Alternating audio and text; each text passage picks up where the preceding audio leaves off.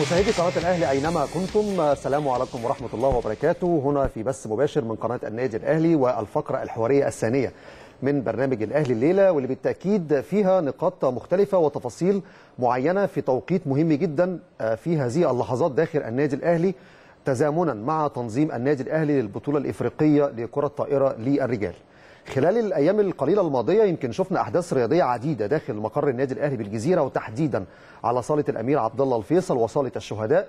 استضافت أحداث رياضية واستضافت البطولة الإفريقية للكرة الطائرة للانسات والاتحاد الإفريقي للكرة الطائرة أشاد بشكل كبير جدا على التنظيم والإنجاز الرائع الذي أقيم خلال الفترة الأخيرة داخل النادي الأهلي باستضافة لبطولة دولية باستضافة عدد كبير جدا من فرق الكرة الطائرة علاوة على ذلك الشكل التنظيمي والبطولات الرائعة التي نظمت خلال الفترة الأخيرة داخل النادي الأهلي.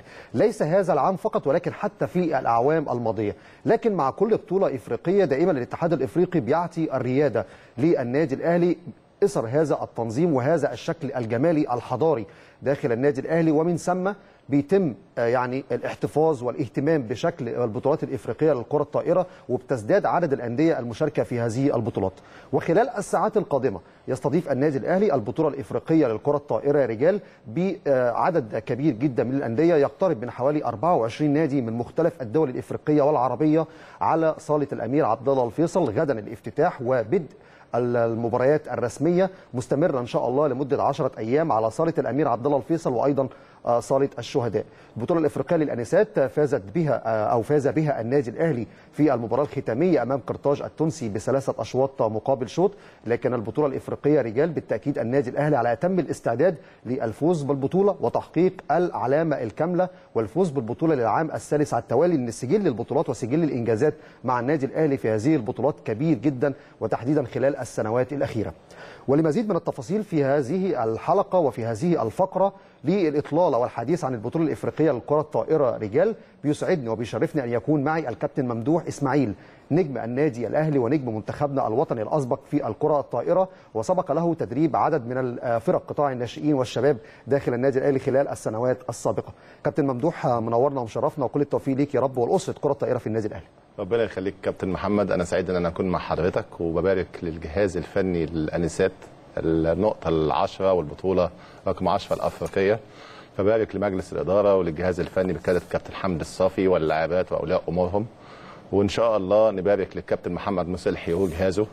آه النادي الأهلي على أبواب دخول التاريخ. زي ما حضرتك تفضلت وقلت إن البطولة هتبقى الثالثه على التوالي والكلام ده اتحقق سنة 95 96 97 دي يمكن تاني مرة إن شاء الله نكسب لثالث مرة البطولة على التوالي. بإذن الله. زي ما قال الكابتن ممدوح 95 96 الأهلي فاز بالبطولة مرتين متتاليتين سنة 2003 و2004 أيضا الأهلي حقق الثنائية في عامين متتاليتين. والميزة في هذه التوقيتات إن الأهلي لما عندما فاز بهذه البطولات كانت خارج مصر. يعني 95 96 أقيمت البطولة بالترتيب في كينيا وكوت ديفوار. 2003 2004 2003 كانت في مصر 2004 كانت في الجزائر.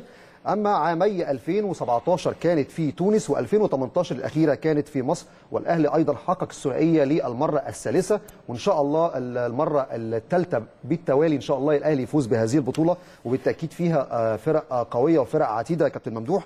لكن بشكل عام اجمالا يعني اولا شايف البطولة تنظيميا داخل النادي الأهلي يعني ردود الفعل من الفرق الإفريقية سواء حتى في بطولة الأنسات أو حتى بطولة الرجال بعد وصول الوفود والمشاركة في هذه البطولة؟ ما شاء الله النادي الأهلي في تقدم مستمر بدليل إسناد الاتحاد الأفريقي البطولة بالاستمرار. وخبر حضرتك على أرض مصر على أرض الكنانة. النادي الأهلي بقى يعني معجم للتنفيذ البطولات والتطوير المستمر. يمكن السنة اللي فاتت ما كانش بيتذاع الماتشات من خلال قناة الأهلي النهارده بيتذاع النهارده بيتعمل برومو على شكل جميل جدا وبيتقدم قبل البطولة وقبل كل ماتش. الاستوديو التحليلي رائع استضافة أنسات النادي الأهلي السابقات وقدموا نموذج رائع مع الكابتن خالد العوضي. حاجة جميلة إن النادي الأهلي في تطور مستمر وإن شاء الله البطولة دي هتشهد تطور تشهد لقاءات وتشهد استوديوهات تحليلية على مستوى عالي. وإن شاء الله تكون بطولة نحققها في الآخر ونحقق اللقب الثالث. تمام. النهارده أجريت مراسم قرعة البطولة وكان في اجتماع فني وكل الوفود المشاركة والأندية كانت متواجدة. يعني أبرز التصريحات أو أبرز ملامح هذه البطولة والمستويات الفنية يا كابتن ممدوح؟ والله هنا عدم وجود آه، أندية من تونس وأندية من الجزائر دي للسنه الثانية على التوالي. آه، للأسف هم عندهم بطولة الكأس الأمم الأفريقية في شهر سبعة للمنتخبات هتنظمها تونس فبالتالي بيستعد بره في معسكرات خارجية. فهو بيقلق قبل البطولة دي هو اللي يهمه كمنتخبات فاعتذر عن البطولة دي. لكن هنا البطولة الأفريقية أندية ليبيا ونادي سموحه والنادي السجوني الكيني يمكن دي أبرز الأندية اللي هتكون على رأس المجاميع. وإن شاء الله هتبقى المنافسة بينهم ويخشوا المربع الذهبي وإن شاء الله النادي الأهلي يتوج بالبطولة. طيب عدد الفرق المشاركة النهارده اتقسمت خلاص المجموعات وتحددت القرعة بشكل مباشر. حوالي 22 فريق بيشاركوا في هذه البطولة على أربع مجموعات. يمكن أستعرض معاكم المجموعات الأربعة. المجموعة الأولى بالتأكيد الأهلي صاحب التنظيم وصاحب البطولة.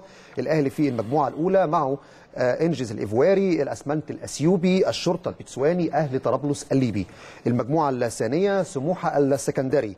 جيسا جارا الرواندي جامعة أوغندا جندميري المدغشقري اتحاد مصراتة الليبي.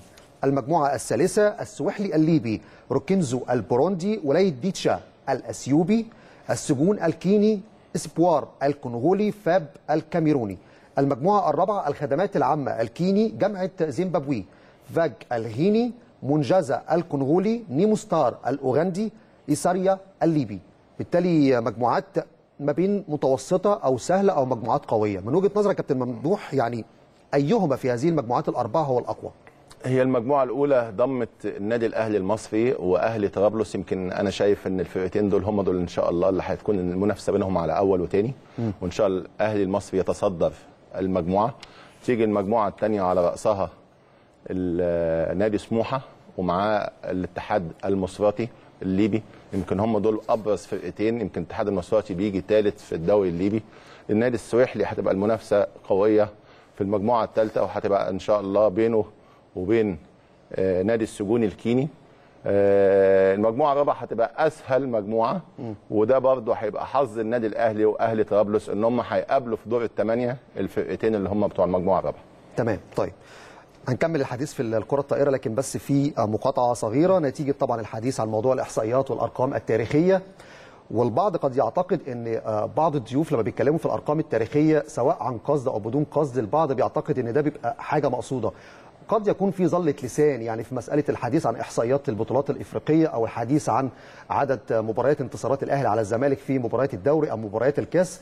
أحد الزملاء الإعلاميين كان يتكلم في هذه الجزئية وأعتقد أن ممكن تكون عن قصد لكن زميلنا أحمد ثابت المحلل هنا في قناة النادي الأهلي كان يتكلم بالأمس عن عدد من الإحصائيات المتعلقة بعدد انتصارات أو سنوات انتصارات الأهلي على الزمالك. زلة اللسان في الحديث عن مباريات الدوري أو مباريات الكاس لكن إحنا بالتأكيد المهنية بتقتضي أن إحنا نوضح الحقيقة ونوضح ال- التفاصيل الصحيحة. في هذا الشيء إحنا يهمنا المعلومة تكون موثقة ونتكلم فيها بكل أمانة وبكل مصداقية. وبالتالي عشان نتكلم بتفاصيل أكتر في هذه الجزئية أنا بينضم لي على التليفون زميلنا المعلق الرياضي آه، فاروق آه، صلاح. هيتكلم عن الإحصائيات والتواريخ بالظبط سواء في آه، انتصارات الأهلي على الزمالك سواء في مباريات الدوري أو حتى مباريات الكأس أو حتى المباريات الإفريقية واللي كانت المسار والحديث فيها بالأمس مع زميلنا أحمد ثابت المحلل الرياضي في ملعب الأهلي مع الكابتن إسلام الشاطر. فاروق اولا برحب بيك وتحياتي ليك وتحياتي الكابتن ممدوح إسماعيل ليك. تحياتي ليك يا زميلي محمد وتحياتي للكابتن ممدوح إسماعيل وتحياتي لكل مشاهدي ومتابعي شاشة قناة النادي الأهلي في كل مكان وإن شاء الله بالتوفيق لنادي النادي الأهلي وفريق النادي الأهلي إن شاء الله في البطولة الإفريقية للكره الطائرة.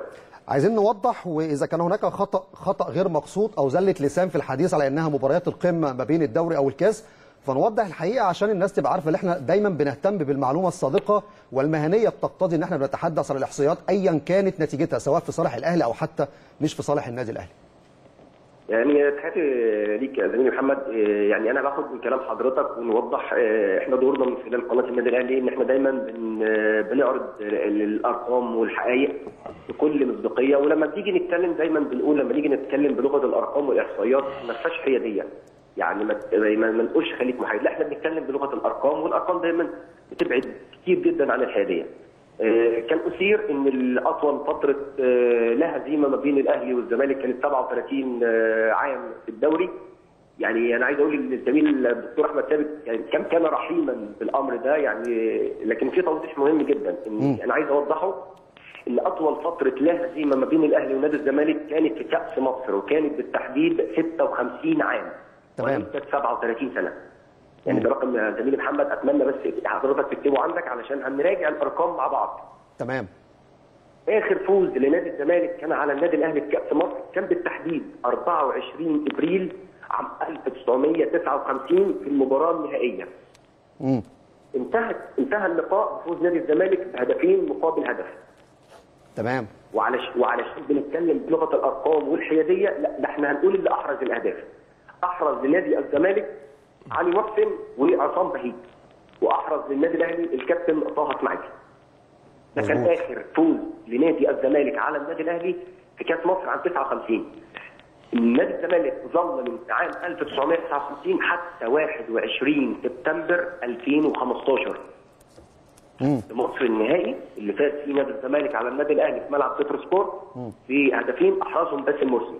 من خلال 59 عام 59 لعام 2015 بنتكلم في 56 عام نادي الزمالك التقى مع النادي الأهلي خلالهم في 8 مواجهات.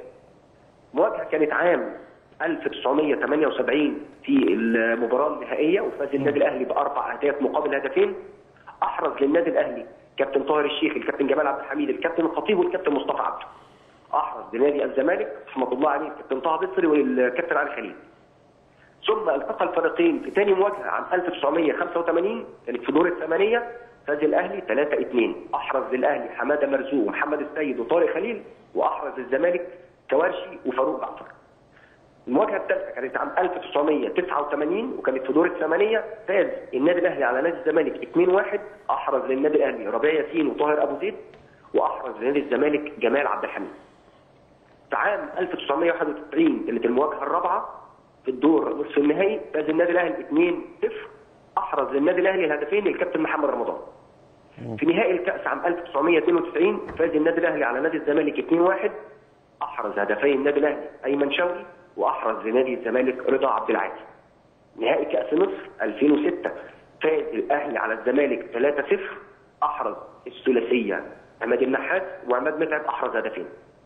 2007 وده كان آخر فوز للنادي الأهلي في النهائي فاز على نادي الزمالك آه، عام 2007 4 3 المباراة الشهيرة. واحرز المباراة الشهيرة يا كابتن محمد آه، متعب وتريكا والهدفين للشيخ أسامة حسني. ثم كانت آخر مواجهه كانت آه، آخر انتصار للأهلي كان في دور ال 16 عام 2010 وفاز النادي الأهلي 3 1 كان تقدم نادي الزمالك عن طريق حسين ياسر وأحرز للنادي الأهلي شريف عبد الفضيل محمد فضل ومحمد أبو تريكة. المباراة اللي اتلعبت على استاد القاهرة الدولي. يعني بالضبط اتلعبت على استاد القاهرة الدولي. ثم بالظبط. لقاء أخير اللي هو كان في 21 سبتمبر عام 2015 يعني يا أستاذ محمد زي ما قلت لحضرتك زميلي محمد من خلال عام 59 حتى عام 2015 التقى الأهلي مع الزمالك في ثمان مواجهات. فاز النادي الأهلي في الثمان مواجهات. يعني بنتكلم في أطول سلسلة لا هزيمة ما بين الأهلي والزمالك 56 عام. ده. بالنسبة لكاس مصر. وهو كان المقصود بيها كأس مصر مش الدوري بس بالعكس كمان انت كان ليك مدة سنوات أطول كمان. بالظبط يا كابتن. محمد وأنا حاجة كمان زميلي محمد إن دي أطول أطول مدة لا هزيمة ما بين يعني ما بين فريقين بيلعبوا ديربي يعني على مستوى العالم. ده رقم قياسي مسجل للنادي الأهلي. نخليها كلاسيكو بقى. آه، خليها كلاسيكو. تمام. الرقم الثاني؟ الرقم الثاني وده رقم مهم جدا. كان الدكتور أحمد ثابت قال مواجهات النادي الأهلي مع نادي الزمالك في آه، بطولة إفريقيا وهو قال بالتحديد دوري أبطال إفريقيا عام 2005 لكن الرقم الرقم الصحيح إن آخر أول مواجهة ما بين الأهلي والزمالك كانت عام 1994 في كأس السوبر الإفريقي اللي أقيم في جوهانسبرج بجنوب إفريقيا. وكان انتهى بفوز نادي الزمالك بهدف مقابل لا شيء أحرزه كابتن أيمن منصور. المباراة الشهيرة اللي أدارها الحكم باتريس ماتابيلا. ادرس ماتابيلا. بالظبط بالظبط زميلي محمد. يعني واضح واضح إن حضرتك أيضا مذاكر كل الأرقام.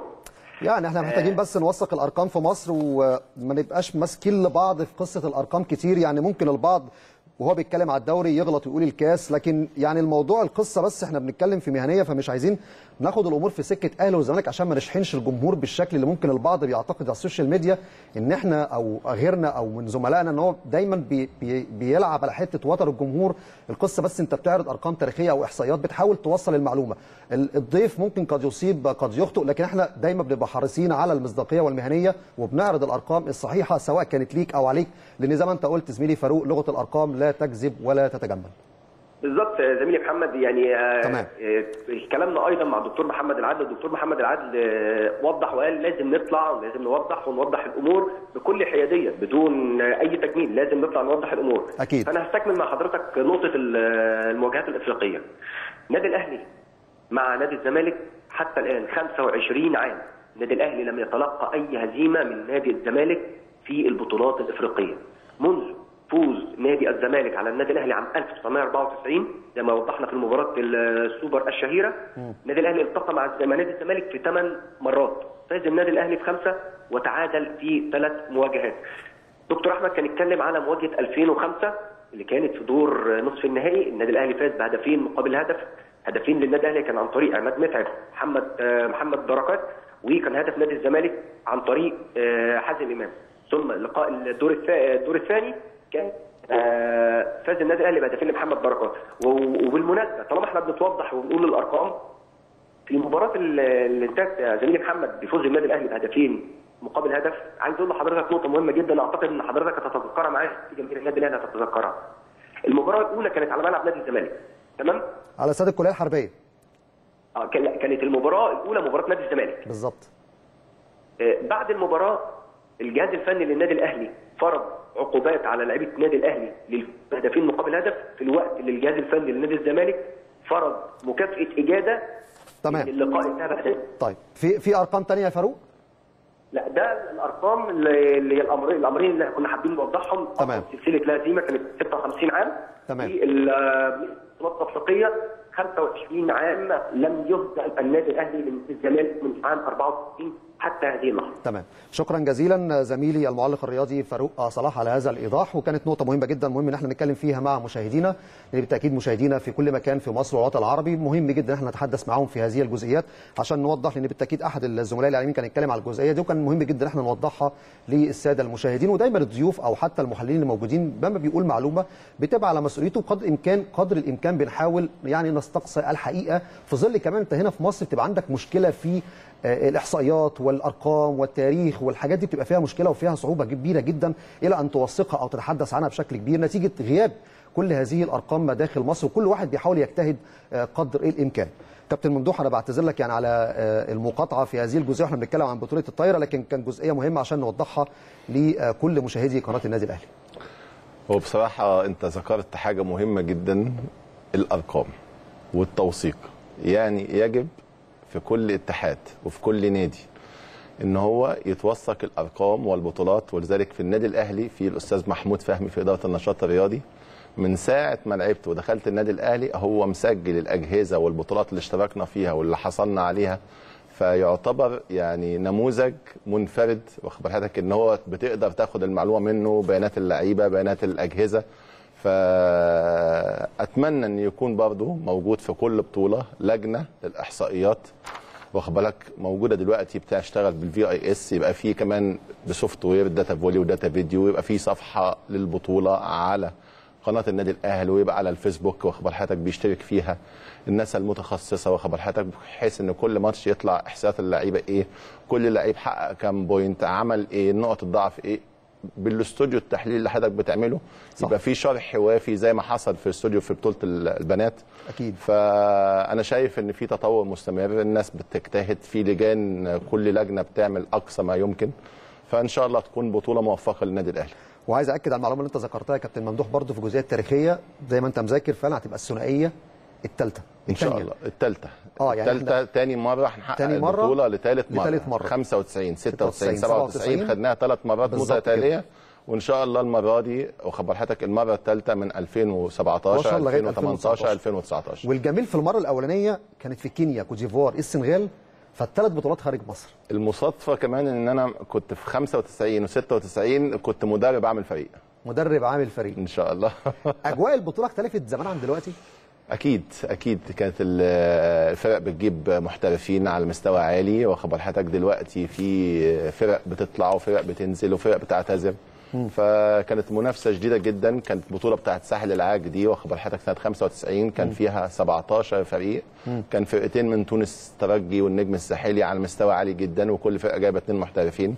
كان فرقتين من الكاميرون فرقتين من نيجيريا فرقتين من الجزائر. فكان البطولات بتبقى صعبة جدا. النهارده بقى كل اللعيبة اللي بتطلع من أفريقيا بتروح تحترف آه، خارجي وعشان الأندية تجيبها تاني. بقت التكاليف عالية جدا. تذاكر الطيران بقت عالية جدا. لولا الاتحاد الأفريقي بيساعد بعض الفرق بال حضرتك وبينظم البطولات دي ويجي عدد كبير 22 فريق في بطولة عشان في مصر. ده إنجاز كبير في هذه البطولة. وإن شاء الله نشوف بطولة قوية ونقدر نحلل ونقدر نشتغل عليها. عايز بقى تكلمنا عن الجيل ده اللي أنتوا عشتوا معاه في التسعينات في بطولات إفريقية خارج مصر. الجيل ده كان فيه هانم صلحي بالظبط. محمد مصلحي حاليا المدير الفني للفريق الأول للكرة الطائرة رجال. هو في حمد الصافي وفي ماجد الصافي. مصطفى وفي أيمن رشدي وفي محمد عبد الكريم كريمو كان جيل عظيم وفعلا أجيال متتالية بتسلم لبعضيها.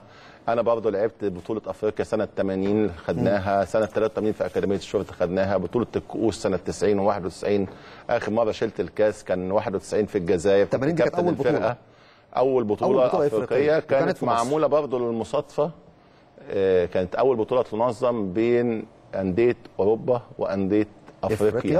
آه, آه. آه. واشترك كان الفرنسي ونادي سون الكاميروني والنادي الأهلي المصري كانت البطولة من ثلاث فرق فقط والنادي ال- والاتحاد الأفريقي وثقها وحسبها بطولة أفريقية لصالح النادي الأهلي. طب إيه اللي اختلف عن بطولة 80 عن 83 لأن 80 اتنظمت في مصر فاز بيها الأهلي 83 برضو فاز بيها الأهلي. 83 كانت الأندية كترت شوية بال حضرتك وبدأ الزمالك يخش وبدأ أندية من أفريقيا تخش وبدأ البطولة تنتشر الاتحاد الأفريقي بيشتغل واخد بالك إن هو يوسع الدايرة ويوسع الاشتراك بين الأندية. ففي زيادة مستمرة في عدد الأندية والمشاركات وإن شاء الله للأفضل. طيب عدم وجود انديه تونس في هذه البطولة من وجهة نظرك هي البطولة قوية ولا كانت البطولة أقوى كمان بوجود الأندية التونسية والجزائرية؟ لا هو الأندية الأفريقية معروفة بالنسبة لتونس والجزائر بتضيف لكل بطولة قوة معينة لأن المنافسة على حتى مستوى المنتخبات بين الأندية ديت وبيخش معاهم الكاميرون بمحترفينها. فلا البطولة بتبقى أقوى جدا. بس النهارده في أربع أندية من ليبيا داخلين ونادي السجون الكيني داخل واخد بالك مع فرق من أفريقيا بتشارك لأول مرة. فلا ال- ال- المنافسة تختلف. تمام. في عدم وجود تونس والجزائر. تمام. أنا بس عايز أستعرض مع مشاهدي قناة الأهلي قبل ما أطلع للتقرير المتعلق بكلام دكتور مهند مجدي عضو مجلس إدارة النادي الأهلي ورئيس اللجنة العليا المنظمة للبطولة الإفريقية للكرة الطائرة رجال. آه، مباريات النادي الأهلي ستقام على أربعة أيام في دور المجموعات. المباراة الأولى غدا إن شاء الله مباراة الافتتاح الأهلي وإنجز الإفواري غدا الاثنين إن شاء الله. مباراة يوم الثلاث الأهلي في مواجهة أهلي طرابلس الليبي ثم مباراتين آه، يوم الجمعة والسبت. مباراة يوم الجمعة أمام الشرطة البتسواني ومباراة يوم السبت أمام الأسمنت الأثيوبي. دي ترتيب مباريات فريق النادي الأهلي في المجموعة الأولى في البطولة الإفريقية للكرة الطائرة رجال. لكن تفاصيل أكتر عن القرعة والاجتماع الفني اللي أجري آه، صباح اليوم في آه، مقر النادي الأهلي بالجزيرة. نخرج لهذا التقرير. بيتحدث فيه دكتور مهند مجدي عضو مجلس إدارة النادي الأهلي ورئيس اللجنة العليا المنظمة للبطولة الإفريقية للكرة الطائرة رجال. ثم نواصل الحديث مع الكابتن ممدوح إسماعيل عاقب التقرير.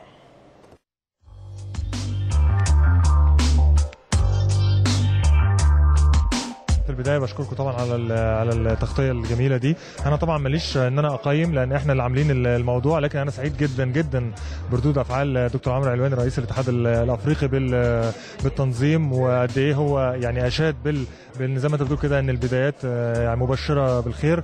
آه، مستر موري كيتا برضو رئيس لجنة الاحتكام كان سعيد جدا جدا آه، بال بال بالنهاردة باليوم كتنظيميا. الحمد لله إحنا بنسهر على على التنظيم وعلى إدارة الموضوع. لاوقات متأخرة. بشكر اللجنة اللجنه المنظمة اللي معايا اللي هم already 90 95% منهم هم اللي كانوا موجودين في بطولة السيدات آه، واللي الحمد لله ربنا كرمنا بالتتويج فيها آه، برئاسة أخويا الدكتور محمد آه، سراج. بشكرهم جدا على مجهودهم. الحمد لله إحنا بنتعب جدا في تنظيمه وبنسهر عشان يطلع بالشكل اللي يليق باسمه ومكانه النادي الأهلي وكمان باسمه ومكانه ال- الكرة الطايرة الأفريقية. فأنا سعيد على قد الضغط وعلى قد إن إحنا بياخد مننا وقت ومجهود كبير لكن الحمد لله في الآخر النتيجة بت بت بتبسطنا وبتريحنا. نامل إن دي تبقى خطوة إيجابية قبل بكرة إن شاء الله كافتتاح البطولة بإذن الله وندعو الناس كلها إنها تشرفنا في الافتتاح آه، اللي هيكون الساعة 7 قبل مباراة النادي الأهلي الساعة 8 مع فريق آه، ساحل العاج. وإن شاء الله تختتم البطولة بإذن الله بالتتويج عشان يبقى النادي الأهلي آه، يعني يكمل التابلو زي ما بيقولوا بالتتويج وفريق الرجال يفرحنا إن شاء الله زي ما عودونا. نأمل إنها تطلع زي ما إحنا خططنا لها بالظبط. عشان لو طلعت ما إحنا خططنا لها هتكون حاجة لطيفة جدا هتدي فيدباك كويس جدا جدا عن إحنا كشباب. بصراحة مجلس الإدارة ما بيتأخرش عننا خالص موفر لنا كل الدعم مدينا مساحة كويسة إن إحنا نبدع فيها و- و- وبعد كده نقعد ونقيم ونتكلم ون- ونعدل. مفيش حاجة بتطلع 100% ولكن آه، آه، نسبة رضا الناس عن ال- اللي بيحصل آه، بتديك مؤشر أنت واصل لفين ومنها تطلع للأعلى بإذن الله. هو طبعا نظرا لبعض ال- الأحداث اللي حصلت في المباراة الختامية. إحنا دلوقتي شغالين على قدم وساق بحيث إن إحنا الجمهور يبقى ليه تواجد. أول ما هيبقى في بعد ما يعني يبقى في آه، آه، آه، مراسلات ما بيننا وما بين الجهات الأمنية. أول ما نوصل للشكل النهائي طبعا هنعلن عنه. الجمهور ده بالنسبة لنا هو رقم واحد. ولكن في نفس الوقت لازم نتبع ال ال ال التعليمات ال- ال- الأمنية لأن هم أدرى بأمور كتير جدا. ما تنساش إن النادي الأهلي وصاله الأمير عبد الله الفيصل موقعها حساس جدا. وأي أي دروب ممكن يعمل آه، مشكلة.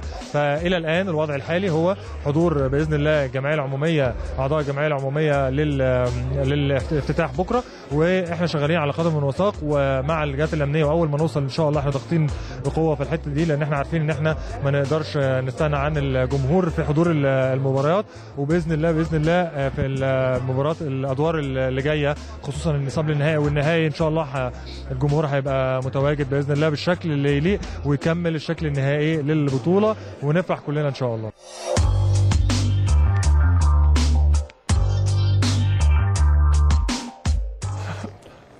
أهلا بحضراتكم من جديد والحديث مستمر ومتواصل على البطولة الإفريقية للكره الطائرة رجال بطولة بطولة قوية جدا. على فكرة أنا بدعو كل المشاهدين لمشاهدة قناة الأهلي وتحديدا الاستوديو التحليلي مع الكابتن خالد العوضي خلال العشرة أيام القادمة. وجبة تحليلية دسمة في بطولة إفريقية للكرة الطائرة رجال زي ما حصل بالظبط في بطولة الأنسات. شفنا تحليل مختلف وشفنا استوديو مختلف. لأول مرة بيتقدم في مصر لبطولة إفريقية بتتنظم داخل النادي الأهلي بهذا الشكل الجميل وبعدد الفرق اللي بيزيد كل سنة عن الأخرى. كابتن ممدوح وإحنا بنتكلم عن الفرق ويمكن ذكرت عدد أو ترتيب المباريات بالنسبة للنادي الأهلي في المجموعة. التسلسل المباريات شايفه إزاي؟ وهل في صالح الأهلي ولا التسلسل شايفه إزاي؟ هو أنا مبسوط إن نادي أهلي طرابلس جه معانا في المجموعة علشان ما تبقاش ال- الماتشات كلها سهلة. لما بتبقى سهلة بتيجي يحصل مشكلة في الأدوار ال- اللي بعد كده. واخد حضرتك وتفاجئ في ال semi-final ماتش جامد أو في ال final ماتش جامد وأنت ما لعبتش ماتشات جامدة قبل كده. وجود أهلي طرابلس معاك في المجموعة ده هيتلعب إن شاء الله هيبقى على اول وتاني المجموعة. وده فرصة واخد حضرتك لأن عشان بعد كده هتلعب التاني من إن شاء الله تتصدر المجموعة الأولى وتلعب التاني المجموعة الرابعة. برضو المجموعة الرابعة أنا شايفها إن هي هتبقى أسهل المجاميع الأربعة. لأن نادي سموحة واقع في المجموعة الثانية مع الاتحاد المصراتي وأنا شايف برضه إن هم هيكونوا هينافسوا على أول وثاني المجموعة الثالثه السويحلي متصدر الدوري الليبي واخد تسع بطولات في ليبيا ومحقق خمس بطولات في كأس الليبي وبعديه آه، نادي أهلي طرابلس يجي الاتحاد المصراتي الثالث في الدوري الليبي. فالمنافسة هتبقى إن شاء الله بين الأهلي وسموحة. آه، الفرق الليبية السويحلي طرابلس آه، السجون الكيني هيخش مع المجموعة الثالثه ممكن تاني. آه، هنشوف هنشوف خلال في فرق هل جديدة هتنافس في فرق ظهرت جديدة. بيظهر كل بطولة حصان أسود ممكن يعني يخش في في المنافسة. آه، هنشوف من خلال البطولة بتبدأ ونحن نقدر نحكم على مستوى الفرق من خلال الاستوديوهات التحليلية. طيب المجموعة الأولى والمجموعة الثانية عدد الفرق متساوي خمس أندية في كل مجموعة لكن المجموعة الثالثة والرابعة ستة وستة. المتأهل في المجموعات بالتساوي ولا في مجموعة بيزيد فيها عدد المتأهلين؟ لا هو بيجي بالقرعة حسب عدد الأندية المشاركة. أنت النهارده مشترك 22 آه نادي. فجه بالصدفة إن مجموعتك خمس فرق المجموعة الثانية خمس فرق وبيجي المجموعة الثالثه ستة المجموعة الرابعة ستة ستة. بيتاخد أول وثاني من كل مجموعة عشان يبقوا ثمان فرق. الأول بتاع المجموعة الأولى بيلعب ثاني المجموعة الرابعة وهكذا. والأول بتاع المجموعة الثانية بيلعب الثاني بتاع المجموعة الثالثه والعكس صحيح عشان يوصل لدور الأربعة أربع فرق وبعد كده ال final. كنت تتمنى إن المجموعة بتاعت النادي الأهلي تكون مجموعة قوية من البداية؟ ولا شايف المستوى يكون متدرج من بداية البطولة تبدأ بالمستويات الأقل إلى أن تصل في الختام لل top level بالنسبة لا لو للفرق؟ إحنا لو إحنا جمعنا كل الأندية القوية في مجموعة واحدة مش هتبقى بطولة واخد بال حضرتك لازم كل البطولة واخد بال حضرتك اللي بيتحدد مستويات على أسس اختيار الاتحاد الأفريقي في البطولات السابقة والمراكز اللي حصل عليها الأندية السابقة. سواء مثلا الأهلي كان متصدر البطولة فبيتصدر المجموعة الأولى عشان هو كمان منظم. بيجي الثاني على راس المجموعه الثانية بيجي الثالث على راس مجموعة رابعة. فهكذا بيحصل عامل تسلسل في الاتحاد ونظام للتنظيم المسابقة عشان ما يبقاش كل الأندية القوية في مجموعة واحدة. من وجهة نظرك من خلال استعراض عدد الأندية والمجموعات الأربعة للمنتخبات أو الأندية المشاركة في البطولة ممكن نشوف ال semi-final آه، فرق عربية فقط؟ ولا ممكن السجون الكيني زي ما ذكرت يكون هو الفريق الإفريقي من وسط الفرق العربية في البطولة؟ هنشوف والله السجون الكيني في ماتشه بال حضرتك مع الاتحاد المصراتي مين اللي هيسجل هل هو ولا السواحلي؟ لأن هما الاثنين أعتقد السواحلي هيبقى يجي في المجموعة الأولى متصدر المجموعة. فهنا آه، أنا شايف الفرصه الأكبر للأهلي وسموحة والسواحلي واخد بال حضرتك للدخول دول الاربعه استعداد سموحة للبطولة شايفه إزاي؟ وهل ممكن يكون المباراة النهائية طرفيها مصري الأهلي وسموحة؟ وارد وارد لأن سموحة بقاله كبيرة؟ بقاله بقاله كام سنة واخد بال حضرتك سموحة ومجلس إدارة المهندس فرج عامر مصر إن يشترك في البطولات العربية والأفريقية وبيخش المربع الذهبي في الدوري وواصل آه، مستوى كويس جدا. بيجيب وبيصرف واخد بال حضرتك وبيجيب آه. فرقة كويسة بتحقق نتائج كويسة. آه، كسبت الزمالك السنة دي أربع مرات متتالية. واخد بالك؟ في الدوري وفي الكاس واخد بال حضرتك؟ آه، لا نادي سموحة بيتألق ومن الأفضل للأفضل. وعلى قيادته كابتن طارق الزفتاوي وكابتن خالد ميديا مدير إداري. نتمنى لهم التوفيق وإن هم يوصلوا المربع الذهبي ويبقى اللقاء النهائي أهلي وسموحة مصر إن شاء الله. طيب بالتأكيد الأهلي بينظم البطولة الإفريقية زي ما نظم البطولة الأفريقية للأنسات وشفنا اشاده الاتحاد الإفريقي وتدعيم الاتحاد الإفريقي للنادي الأهلي في هذه البطولة ورأي الاتحاد الإفريقي على النادي الأهلي في هذه البطولة والتنظيم كبروتوكول وكمراسم وكاستقبال حاجات كتيرة جدا الأهلي استفاد بيها خلال الفترة الأخيرة حتى أصبح الأهلي عنده كوادر إدارية وشبابية بشكل متميز يقدروا ينظموا بطولات دولية على أعلى مستوى. لكن رأي الاتحاد الإفريقي في هذا الحدث تحديدا مهم جدا. وبالتالي خلال التقرير التالي نسمع فيه رأي دكتور عمرو علواني رئيس الاتحاد الإفريقي للكرة الطائرة ونائب رئيس الاتحاد الدولي. ثم نواصل الحديث مع الكابتن ممدوح إسماعيل عقب هذا التقرير.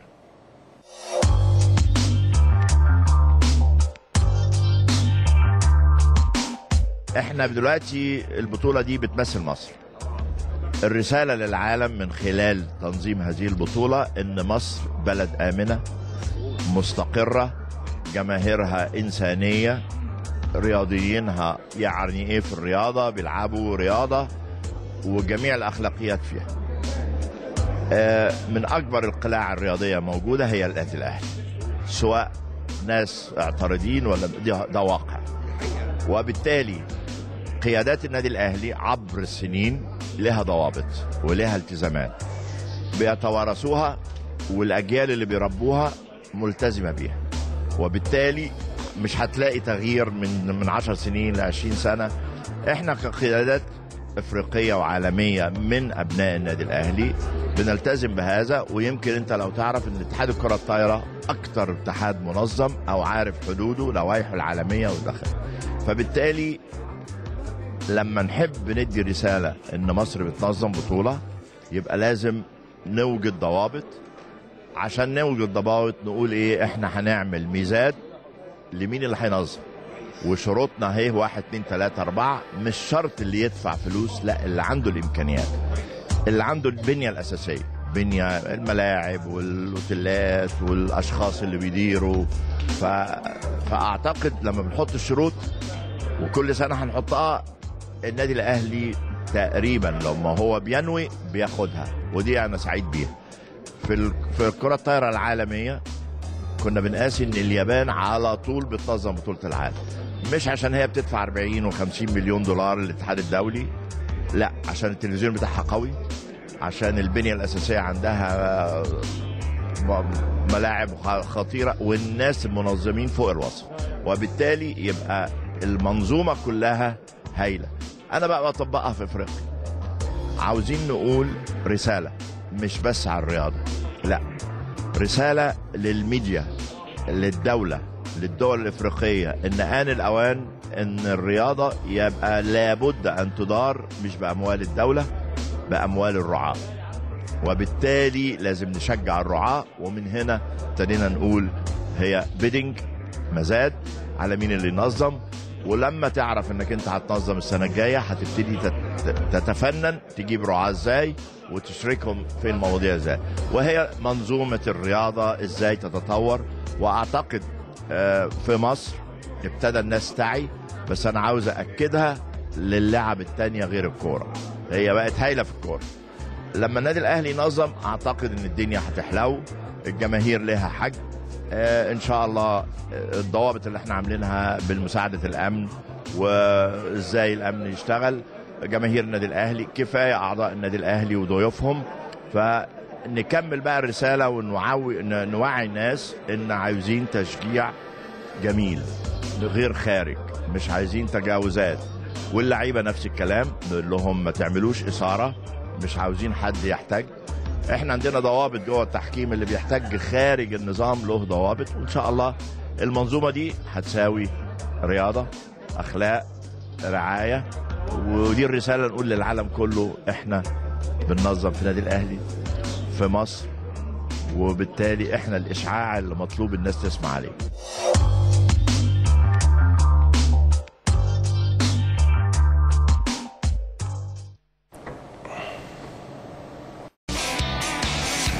أهلا بحضراتكم من جديد. وإحنا بنتكلم على البطولة الإفريقية للكرة الطائرة والدكتور عمرو علواني رئيس الاتحاد الإفريقي ونائب رئيس الاتحاد الدولي استفاض في الحديث عن أهمية تنظيم هذه البطولات. والفكرة في البداية إن النادي الأهلي ما بينظم البطولة هي الفكرة مش للنادي الأهلي بس هي الفكرة لمصر. لأنك لما بتستقبل 22 نادي أو 21 نادي بالإضافة للنادي الأهلي فده حاجة كبيرة. ومن فرق إفريقية من الكونغو من زيمبابوي من أثيوبيا ولاية ديتشا موجود آه، من كوتيفوار آه، في فرق كتيرة إفريقية موجودة في مصر على حس وإن في بطولة إفريقية بينظمها النادي الأهلي ده بالتأكيد حدث مهم جدا. لكن كابتن ممدوح إحنا بنتكلم على البطولات الإفريقية. ظهرت قدامي احصائيه جميلة جدا بصراحة ويبدو إن لغة الأرقام الفترة دي مهمة وإحنا بنتكلم عليها. سجل أبطال إفريقيا للرجال منذ بدايتها حتى هذه اللحظة النادي الأهلي حقق 13 لقب للبطولة الإفريقية للكرة الطائرة رجال ثم يليه الصفاقسي التونسي لكن من بعيد. ست ألقاب يعني فرق سبع ألقاب لصالح النادي الأهلي. ثم الزمالك خمس ألقاب الترجي التونسي أربع ألقاب الإفريقي التونسي ثلاث ألقاب النجم الساحلي والمولودية الجزائري لقبين نصر حسين داي وطلائع الجيش لقب إفريقي وحيد. كابتن ممدوح يعني 13 لقب إفريقي ده بيعبر عن تاريخ كبير قوي لنجوم واسامي كبيرة في الكرة الطائرة في مصر وفي النادي الأهلي. حقيقي ده إنجاز كبير آه، وتاريخ كبير بيبدأ من سنة 80 لأجيال آه، متتالية لأجهزة فنية لمجالس إدارات متتالية. جهد. جهد كبير جدا. طبعا أنا بشكر الدكتور عمرو على الكلام اللي قاله دلوقتي في في حديثه إن هو تملي بيطور تملي بيشتغل لصالح مصر تملي بيدي لصاحب الحق حقه علشان آه، نطور الرياضة المصرية ونوصل بيها للعالمية. وأنا شايف إن هو ممكن كمان هيستضيف كأس العالم في للناشئات ال- السنة دي زي ما استضاف آه، كأس عالم 23 سنة السنة اللي فاتت. فده يعتبر آه، في تاريخ مصر إنجاز كبير. الحاجة اللي عايز أوضحها يمكن ليا أصدقاء آه، سواء أجهزة فنية أو مدربين ولاعيبه في نفس الوقت بخش على صفحاتهم على الفيسبوك هم متصورين في الهرم وهم متصورين في النيل وهم متصورين على معالم مصر الأثرية. حاجة جميلة وحاجة تفرح آه، من لجان آه، بياخدوهم في الأيام الراحة وفسح واخد بال حضرتك آه، ده سمعة كبيرة لمصر ولسياحة مصر كلنا بنشتغل علشان في الآخر نظهر بصورة كويسة. والنادي الأهلي عظيم عظيم برجاله بلجانه بمجلس إدارته. فربنا يوفق إن شاء الله وتكون البطولة رقم 14 زي ما حضرتك ذكرت. أنا الحاجة اللي إحنا نتمناها يا رب خلال السنوات الجاية تحصل آه، كأس العالم للأندية. يعني كأس العالم للأندية بيبقى دايما عندهم تحفظات على فكرة إن في أندية إفريقية تشارك معاهم. لكن لما تستضيف بطولة إفريقية آه، أو بطولة قصدي كأس عالم الأندية للكره الطائره في مصر ده يبقى حدث كبير جدا يا كابتن ممدوح. هو بالظبط كده يمكن اتوعد إن شاء الله بعد البطولة اللي إحنا هنلعبها دي إن هننظم بطولة عالم للأندية. ويمكن ده وعد من الاتحاد الدولي وبقيادة الدكتور عمرو علواني بيحاول ياخد تنظيم البطولة دي. كان يمكن السنين اللي فاتت اشتركنا أكتر من كذا مرة وحققنا برضه بماتشات كويسة بس هو فرق الإمكانيات آه، فرق كبير. وبقت البطولة تجارية بحتة لأن الرعاة بيخشوا ياخدوا فرق لأن بيبقى الماتش equal بين فرق عالمية وإحنا نعتبر إن أول أفريقيا دوت آه، بيعتبرونا العالم ال- النامي. ده بيحاسبونا على الشوط. آه دي حقيقة. هي وهو عامل البطوله عشان يكسب منها فبيعتبر لما بيكون ماتش 3-0 بين أول العالم ومثلا في أوروبا أو في أمريكا أو في أمريكا الجنوبية فبيعتبر ما بيجيبش أرباح فبالتالي الاتحاد الدولي جه قال لك آه، الفرقة اللي بتكسب أفريقيا ممنوع الدخول. فاحنا بنحاول نرجعها تاني ونحاول ممكن نزود بمحترفين وندعم الفرقة واخد حضرتك فإن شاء الله في شغل على مستوى عالي ونحقق الإنجاز الكبير والرقم الجديد اللي هو البطولة رقم 14 وده حلو جدا لأن كمان أنت هتعمل رواج للرياضة المصرية. دي حقيقة يعني أنت لما. يجي لك فرق عالمية وفرق أوروبية أو فرق من أمريكا الجنوبية يحضروا هنا في مصر كأس العالم للأندية حدث رياضي. أنا بعتبره ما يقلش عن حدث في كرة القدم. بص أنا بحاول أشوف الفرق اللي وصلت للعالمية إيه وحققت طفره في الرياضة. يمكن آه، في إيطاليا لما طورت الدوري الإيطالي وبدأ يشترك كل أحسن لاعبي العالم في الدوري دوت اللي فعلا الفريق الإيطالي رجع تاني ورجع ينافس بشدة وحقق بطولات كبيرة.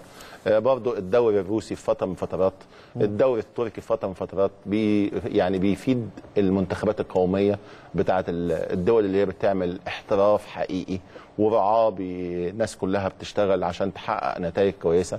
هنا برضو نفسي يبقى نستفيد من هذه التجارب ونبدأ نحقق ويبقى في احتراف يمكن البطولة اللي فاتت آه، في بطولة الأنسات أما أربع أندية مشتركة سبورتنج والأهلي والشمس والصيد آه، دي مجالس إدارات بتاخد قرارها وتقف ورا فرقها وممكن آه، البطولات اللي جاية تدعم بمحترفين ممكن يشتغلوا من خلال الناشئين على مدار السنين اللي جاية. لا الرياضة شيء ممتع وجميل جدا. أهم حاجة مجالس الإدارات يهتموا بدعم الفرق والألعاب علشان نوصل للمستوى العالمي. أستغل وجودك معايا أكتر من كده بقى. خلاص إحنا في الجزء الأخير من برنامج الأهلي الليلة. وعايزين نتكلم أكتر عن فرقتنا فرقة النادي الأهلي. أبرز الأوراق الرابحة في النادي الأهلي استعداد الكابتن محمد مصالح حميدو ودايما كده بيبقى ليه حالة خاصة قبل البطولة وأثناء البطولة تركيز عالي جدا. مش عشان يكسب ماتش عشان ما يخسرش شوط. إن شاء الله النادي الأهلي عامل معسكر في بولندا. يمكن كابتن ميدو بقاله فترة كبيرة مع الفريق ومحقق إنجاز كبير إن هو خبر حضرتك عامل السنة اللي فاتت ثلاثية وإن شاء الله ياخد السنة دي الثلاثية. خد يمكن كأس مصر قبل ما يسافر المعسكر ببولندا ويمكن ال- الماتش خلص ال final مع الجيش. كان ماتش قوي وكسبنا 3-0 ودي يمكن الماتش خلص من هنا وعلى طول سافروا على المطار واخد بال حضرتك وسافروا على بولندا عشان يبدأوا يلعبوا أربع ماتشات هناك وعمل تمرين صبح وبعد الظهر ولسه راجعين أول امبارح وداخلين الأوتيل امبارح. آه، مجهود كبير الناس ممكن ما تحسهوش بس الرياضي واللي بيشتغل في المجال الرياضي يحس قد إيه اللعيبة والأجهزة الفنية بتضحي بوقتها وبأسرها علشان يحققوا بطولات وإنجازات. تضاف لتاريخ النادي الأهلي والمنتخباتنا وهيطلعوا من البطولة دي على منتخب مصر عشان يشتركوا في كأس الأمم الأفريقية في تونس. لا يعني إحنا عندنا أبطال ويستاهلوا الدعم ويستاهلوا نحتفل بيهم وإن شاء الله يتوجوا آه، بالبطولة الرقم ال 14 والثالثه على التوالي. إن شاء الله. طب قبل الخوض في التفاصيل الفنية وأبرز الأوراق الرابحة في صفوف النادي الأهلي نخرج إلى هذا التقرير نسمع فيه كلام الكابتن رؤوف عبد القادر مدير عام النشاط الرياضي في النادي الأهلي ثم نواصل الحديث مع الكابتن ممدوح عقب هذا التقرير.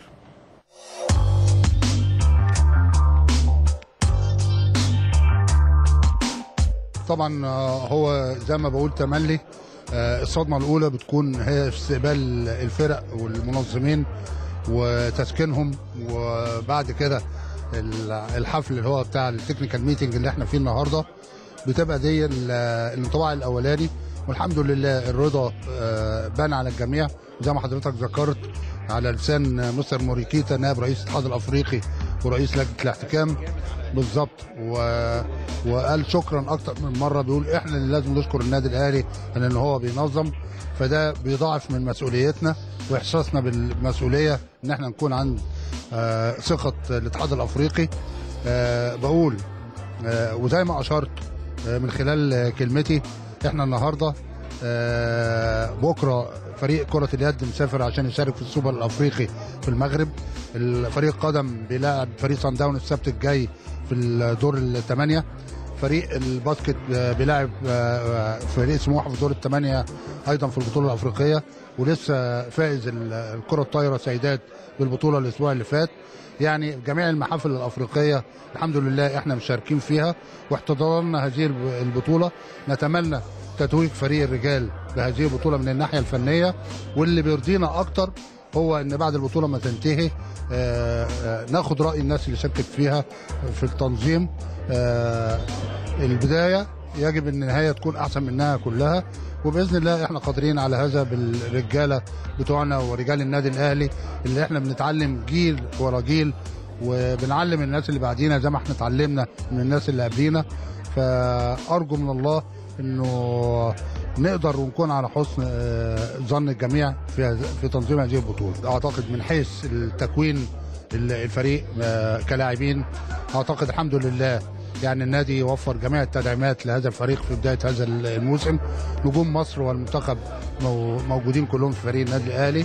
كلهم لعيبة آه، بالظبط على يعني على المستوى سواء عنصر الخبرة أو أيضا يعني تم تجديد دم الفريق بوجود مزج ما بين الشباب آه، والخبرة. والقيادة الفنية للكابتن محمد مصلحي آه، يعني ثالث سنة مع ال- الفريق آه، يتسم بالخبرة. وقبل كده يعني سبع سنين أو ثمان سنين كان آه، مدرب للفريق. فأعتقد إن جهاز فني على أعلى مستوى آه، سواء الفني أو الإداري أو الطبي يعني حقيقي. آه، فريق آه، يحتذى به آه، في كل حاجة يعني. وأعتقد إن هو المرشح الأول للفوز بهذه البطولة بإذن الله عشان نهديها لجماهير النادي الأهلي.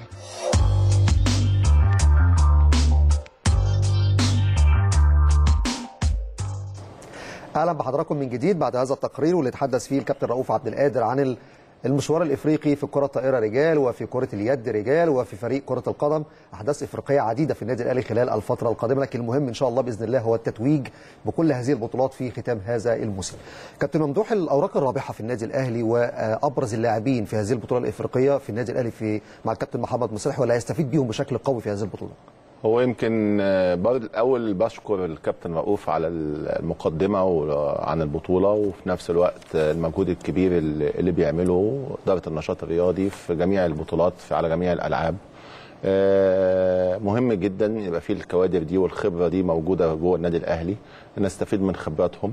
وبشكر مدام عزة حافظ آه، فعلا مجهود كبير جدا وهي اللي بتعد الاستوديوهات التحليلية وهي اللي بتقدم واجهه مشرفة لقناه النادي الأهلي بشكرها آه، نرجع تاني لسؤالك آه، اللعيبة ال- والأوراق الرابحة آه.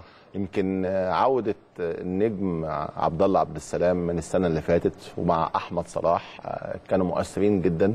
آه، أما تركوا النادي الأهلي وراحوا نادي الجيش حققوا مع نادي الجيش البطولة الأفريقية الوحيدة اللي حققت طلائع بالظبط. أما رجعوا تاني آه، الميزان يعني اتعدل.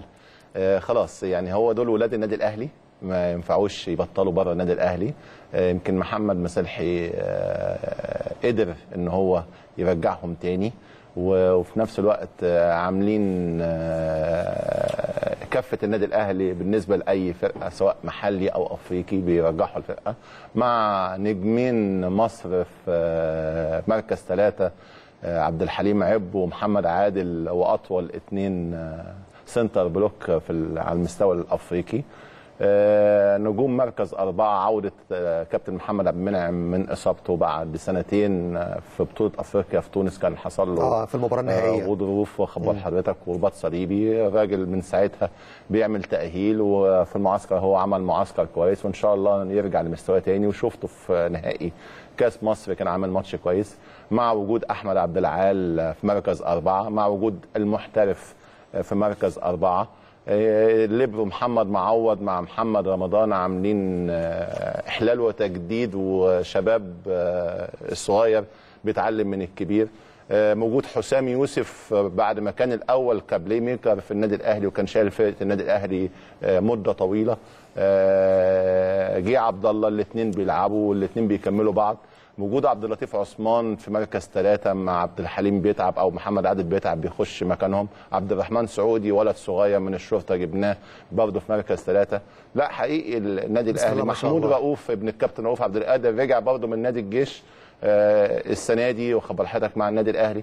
لا يعني النادي الأهلي بقى عنده خبرات كبيرة. النادي الأهلي بقى آه، التتويج إن شاء الله في جوه بيته. نمسك الخشب ده منتخب مصر. آه، إن شاء الله إن شاء الله الله. إن شاء الله هو خد الكاس مصر وعلى أبواب آه، يحقق الدوري لأن هو فارق في الدوري بالنقاط. فان شاء الله يجمع بثلاثية آه، ونبارك لهم على البطولة وربنا يوفقهم إن شاء الله. في ايجاز كده فريق سموحة أبرز اللاعبين الموجودين فيه اللي هيتألقوا في هذه البطولة على الورق الرابحة. يعني أنت اتكلمت في أسامي آه، قايمة كاملة في النادي الأهلي. ده حقيقة. بالمقارنة بسموحة لأن هو الفريق المصري برضه بيهمنا إن هو يوصل للختام ويكون مع النادي الأهلي في النهائي. هو هيبقى المنافسة بينه وبين نادي السويحلي وأهلي طرابلس. وخبر حضرتك على مين اللي يوصل final مع النادي الأهلي. يمكن آه، نادي سموحة عمل إنجاز كبير آه، اشتراكه المستمر في البطولات الأفريقية زي ما ذكرت قبل كده. في لعيبة على المستوى عالي جايبين برضه محترف في playmaker جزائري آه، الولد آه، بقاله أكتر من سنة واخد بالك مع الفريق. فإن شاء الله يعملوا موسم كويس وبطولة وصانع كويسة. الألعاب الجزائري لفريق سموحة. أمير؟ أمير أمير آه. فعلا هو. إمكانياته كويسة وده فعلا نادي سموحة تأثر بيه لما حصل له إصابة لما عدم اشتراكه في الماتشات بعد ماتشات الدوري والكاس واخد حضرتك فإن شاء الله بعودته يمكن يدي ثقل لنادي سموحة مع لعيبة أدهم و ولعيبة كتيرة جدا واخد حضرتك آه، منصور و آه، لاعب مركز اتنين هشام. واخد بال حضرتك فلا يعني هي فرقة كويسة وإن شاء الله يحققوا مع خالد الفيومي.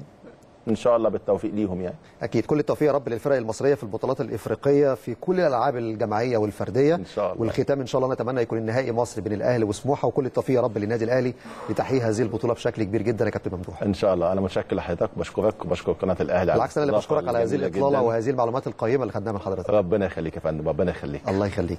كانت. فقرة مهمة جدا وإحنا بنتكلم خلاص بقى في ليلة البطولة الإفريقية للكره الطائره رجال. ساعات قليلة جدا العد التنازلي لافتتاح البطولة. بدعوكم بكرة. إن شاء الله. وجبة كروية لكن كروية يعني آه، بإطار الكرة الطائرة للاستوديو التحليلي مع الكابتن خالد العوضي بإذن الله غدا الافتتاح الساعة السابعة مساء. المباراة الأولى للنادي الأهلي أمام انجز الايفواري في الساعة الثامنة مساء. إن شاء الله بطولة إفريقية تكون موفقة. وأجمل ما في هذه البطولات والله بجد وأنا بحضرها حتى في صالة الأمير عبد الله الفيصل مش فكرة الإنجاز والفوز بالبطولة لا أجمل في هذه البطولة الكوادر الشبابية ولاد النادي الأهلي أعضاء النادي الأهلي اللي دايما لهم دور كبير جدا في المراسم في البروتوكول في التنظيم في استقبال الوفود.